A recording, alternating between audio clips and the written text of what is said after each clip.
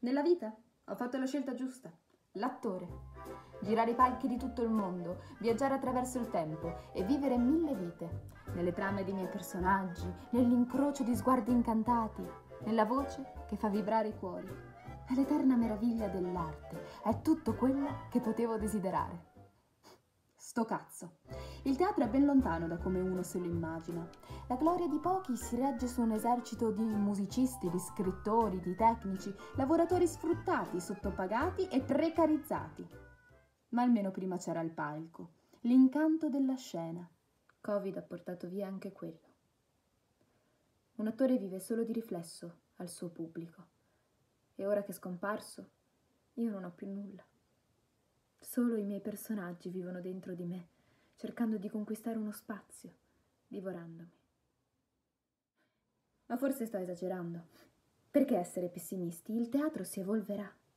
Palchi on demand, video interpretazioni, pullulio di contenuti sul web. Lo sto facendo io stessa proprio in questo momento.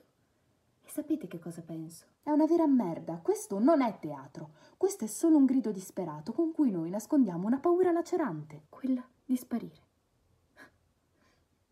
Io esisto se nessuno mi tocca, se nessuno mi parla, se nessuno mi ascolta.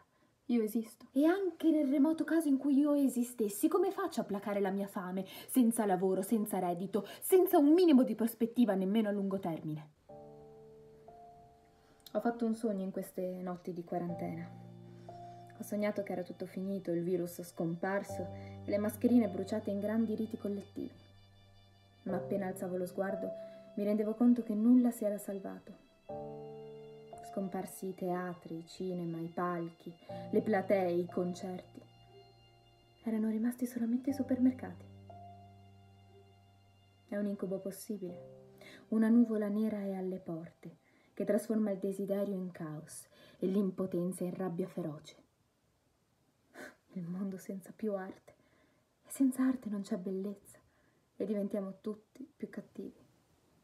Me lo dicono ogni giorno i miei fantasmi salvate il teatro o saremo costretti a uccidervi tutti.